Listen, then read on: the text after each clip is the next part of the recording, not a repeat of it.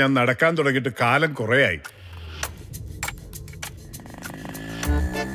കുറെ emotions കഥാപാത്രങ്ങളിൽ inject ചെയ്ത കഥ ഉണ്ടാവില്ല. മൂപ്പർക്ക് എന്താ പരിപാടി എന്ന് മൂപ്പർക്ക് തന്നെ അറിയില്ല.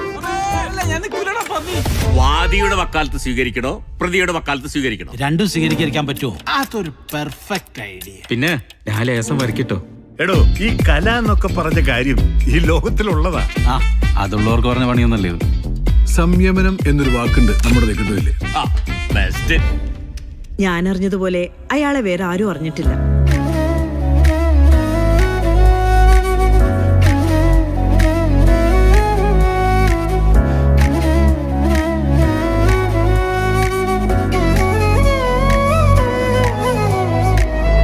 ഞാൻ വിട്ട കേസായിരുന്നു കരുണാകരൻ സാറേ.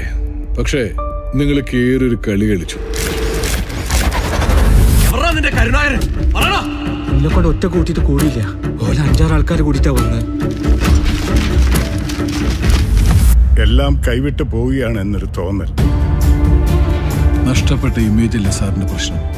അതെനിക്ക് വിട്ടേക്ക് ഈ തീറ പിള്ളേരെ വെച്ചിട്ടാണോ എന്നെ വിലക്കെടുക്കാൻ വന്നിരിക്കുന്നത്? ഈ കപ്പൽ മുങ്ങുവാണോ എന്ന് എനിക്ക് സംശയമുണ്ട് നിധി. കാലം എന്റെ കയ്യിൽ നിന്ന് ചോദിക്കുന്നത് എനിക്ക് കൊടുത്തല്ലേ പറ്റൂ? നീയൊക്കെ കൂടി എന്നെ തീർക്കാനാ നോക്കുന്നത്? നീ ഒരുങ്ങിയിരുന്നാടാ. കാലത്തിന് മുൻപേ ഓടാൻ കെൽപ്പുള്ള ഒരാളാണോ ഇത് എന്നോട് പറയുന്നത് നേടിയതാണ് ഈ കാണുന്നതല്ല.